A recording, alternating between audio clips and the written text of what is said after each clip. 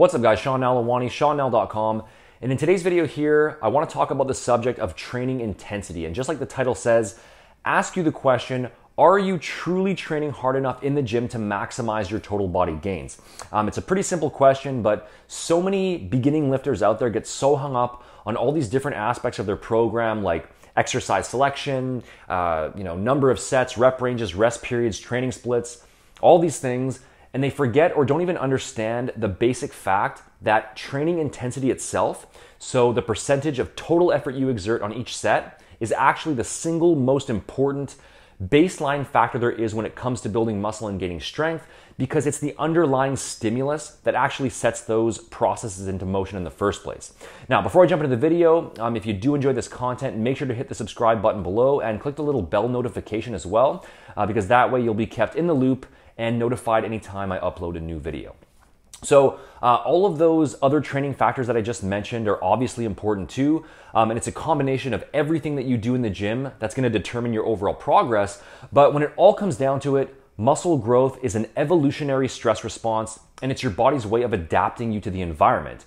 And in order for there to be enough incentive to actually change the body physiologically, that environmental stressor has to be strong enough. The body has to perceive that the demands of the environment um, exceed its current capability um, or at least exceed what it's currently optimized for. That's the message that you're trying to send your body anytime you train with weights. You're trying to say that the environment that you're in and the tasks that you're being faced with are right up near the limits of your current strength capacity or actually beyond them. That's what triggers the response. So if you're consistently performing tasks that are already well within your ability, meaning you're lifting a certain amount of weight for a certain number of reps that you can already do without a high level of exertion, there's no reason for your body to make any change. You can already do those tasks. So, why would your body use up valuable energy and valuable resources to build new muscle tissue that it doesn't even need?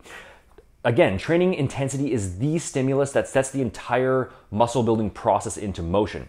Uh, progressive overload is what allows you to make continued gains from week to week um, meaning that you're consistently increasing the workload in terms of weight and reps uh, over time.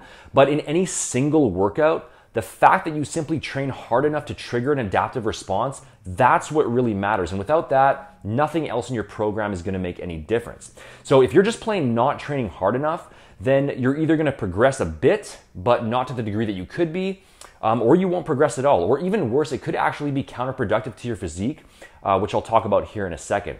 And I know that this might sound obvious to a lot of you, but to just as many people out there, it really isn't all that obvious. And there's so many lifters out there who just go to the gym, uh, they pick some exercises in a rep range, and then basically just go through the motions without really understanding what they're trying to do. Um, the workouts are still somewhat challenging. They uh, they feel the burn, they get a little pump going on, but without realizing it, they're still not training nearly close enough to their maximum ability to really trigger a significant muscle building response. Or what I also see is what I'd call selective intensity, and that's where people will train fairly hard, but only on certain lifts for the more uh, showy muscle groups, so like the chest or the arms, which also happen to be some of the least challenging muscles to train. Uh, but when it comes to hitting their really big muscle groups, um, the ones that make the biggest contribution to their overall physique, like their back and their legs, um, it's a much different story, and they just don't exert the same percentage of effort.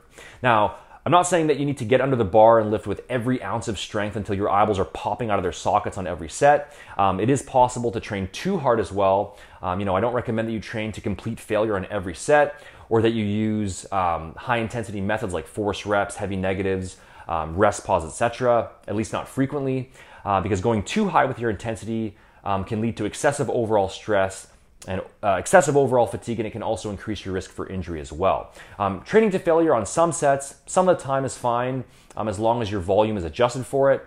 And uh, lower intensity, higher rep sets can also be used in some cases as well for certain purposes. Uh, but I think that on most sets, most of the time, a good solid guideline for the average lifter is to train about one to two reps short of concentric muscular failure, um, again, on the majority of your sets.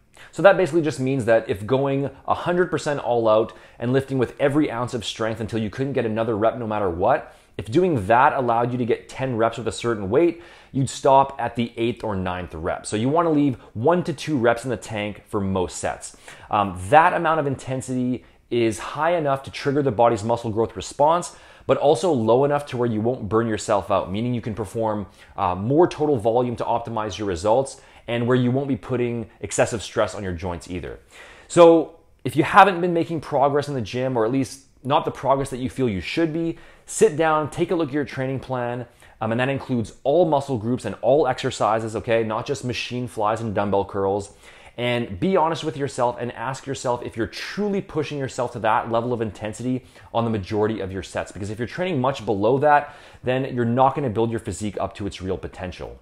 And like I mentioned in the beginning, it's not just that you won't build muscle as effectively as you could be, but it could actually be directly harmful to your physique if you're eating in a calorie surplus, but you aren't training hard enough. Again, you have to think about the basic logic of muscle growth here. You go to the gym, you put your muscles under stress to stimulate a growth response, and then you leave the gym and consume more calories, and your body uses those extra calories to build new muscle.